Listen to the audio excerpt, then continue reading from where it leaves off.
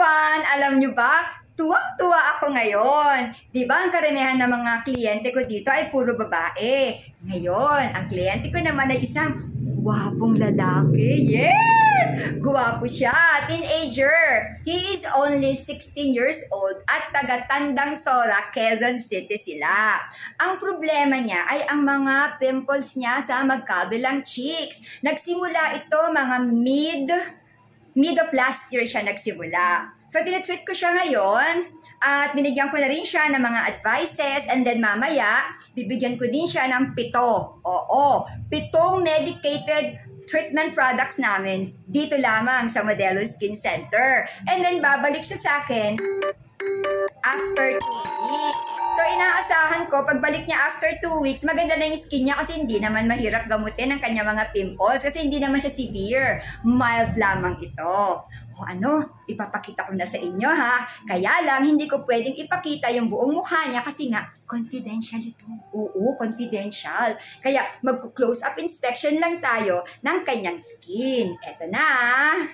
Ingat-ingat, baka makita ang buong mukha.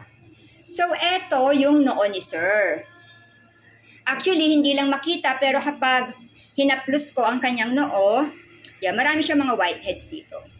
Marami. Maganda lang siguro yung camera, kaya hindi makita. Tingnan natin. Ayan, yan, yan, yan, yan. Ayan, ayan. Ayan na. Ayan yung mga butlig-butlig niya, pero madali lang maalis to dun sa gamot na ilalagay niya.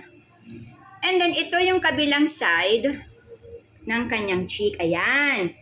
May acne siya. Actually, this is acne. Yan, may acne siya dyan.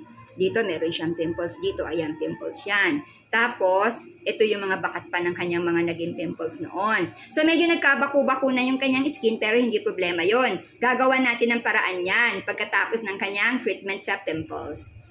And then, ito naman yung ilong, nguso at bibig. Wala naman siyang problema. Wala naman ako makitang pimples dito. Ito yung sa kabilang side ng cheek ni sir. Ayan. So, meron na naman siyang acne. And then, combination to ng acne tsaka pimples eh.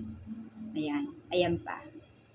Yun. Okay. Ayan. Eto na ako. So, ang kinuhang package ni Sir at ang kanyang mommy, syempre kasama yung mommy niya kasi minor de edad siya eh.